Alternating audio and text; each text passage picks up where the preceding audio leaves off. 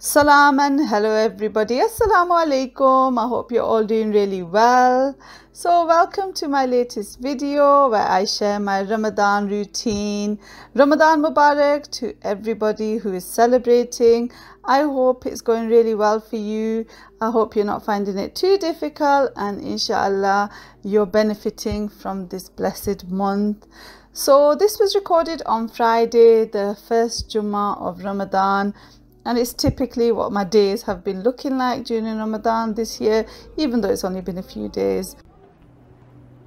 So my day in Ramadan looks pretty much like my normal days apart from the fact that I'm not eating.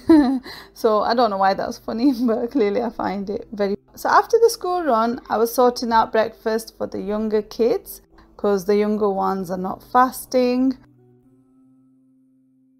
and then we try and fit in an outing or a bit of shopping just to take the kids out and pick up anything that we might need. On this day, I went to Poundland because I needed a glass serving bowl, which I did manage to get.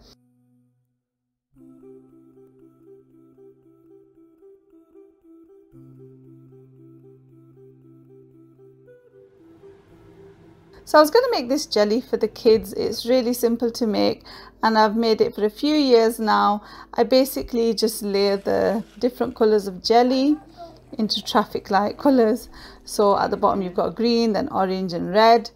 And the way you make it is you put one color, allow it to set. Once that's set, add the next color, like prepare the jelly how you would. Add the next layer of jelly and then add the final layer of jelly. So you just allow each layer of jelly to set before adding the next one.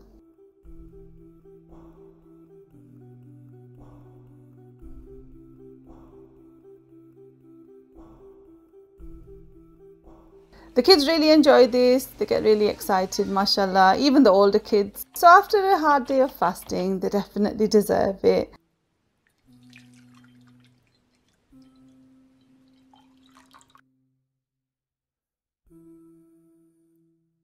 So when I'm doing my chores, I like to watch beneficial reminders or listen to useful or Islamic podcasts. If you want to see what I'm getting up to day to day, I'm actually trying to upload daily on my vlog channel. I'll link it in the description.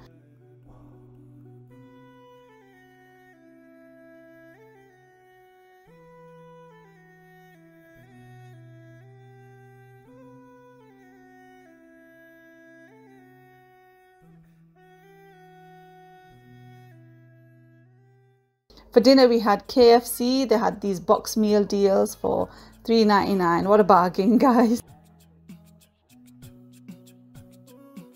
Mashallah, it was nice. And then it was time for the jelly.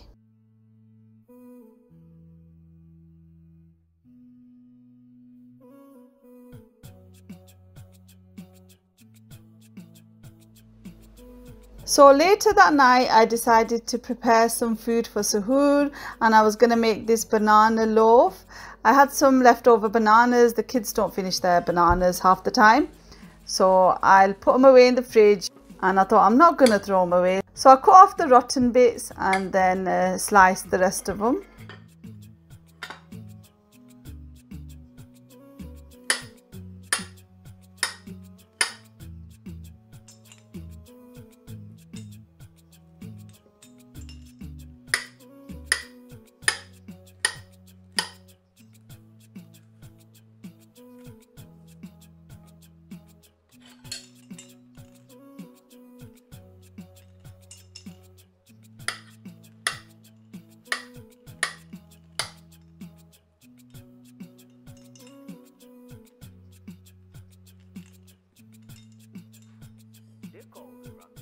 And then to a large mixing bowl, I just added all of the ingredients.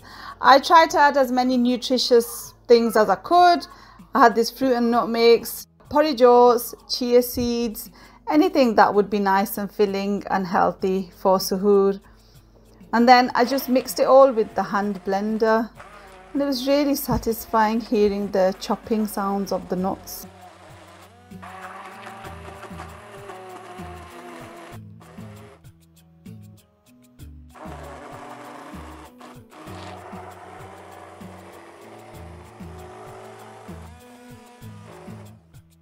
I'd forgotten to add some cinnamon.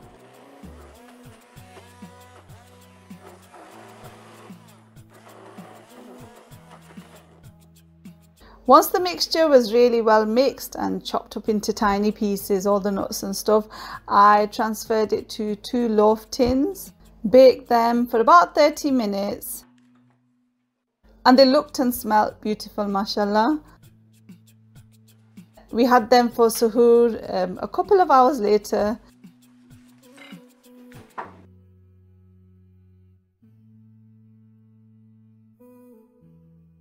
Anyway, I really hope you enjoyed this video. Jazakallah, thank you so much for watching. Enjoy the rest of your Ramadan till I see you.